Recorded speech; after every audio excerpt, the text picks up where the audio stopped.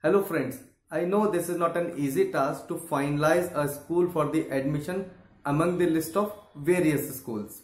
In this video, our education experts have listed some of the finest school of your city. I'm sure after watching this video, you will be able to finalize the school